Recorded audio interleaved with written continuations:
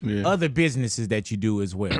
Restaurant. I got a restaurant in Memphis. Damn. Cache 42. Let me put that out there. I got liquor. I just did a, uh, this liquor deal. Dale deal. I ain't mad at Smooth. Smooth. I got the water, VO water. You know what I'm saying? This is, and- you when people cigars. say beyond rap, you know what I'm saying? Beyond hip hop, like Yeah. that, that's the things that we could do now. Is- No, for sure. And your restaurant is open right now. Yeah, open to the public